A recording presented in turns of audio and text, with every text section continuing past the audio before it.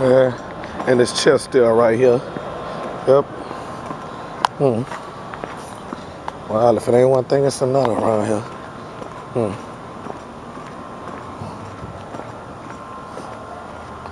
Yep.